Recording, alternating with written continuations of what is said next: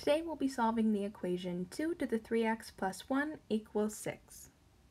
Since 6 can't be written as an exponent with a base of 2, we have to take the log base 2 of both sides, which gives us the log base 2 of 2 to the 3x plus 1 equals the log base 2 of 6.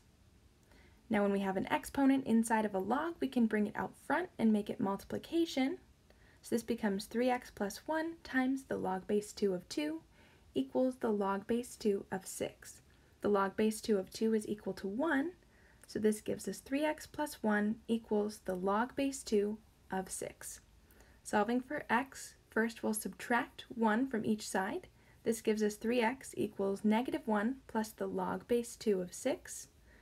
Dividing both sides by 3 gives us x equals negative 1 plus the log base 2 of 6 all over 3.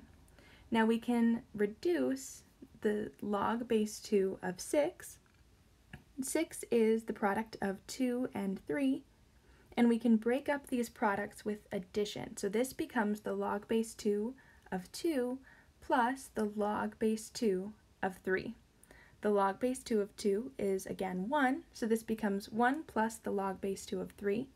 Plugging that back into our equation gives us x equals negative 1 plus 1 plus the log base 2 of 3, all divided by 3. Negative 1 plus 1 is 0, so our final answer is the log base 2 of 3 divided by 3.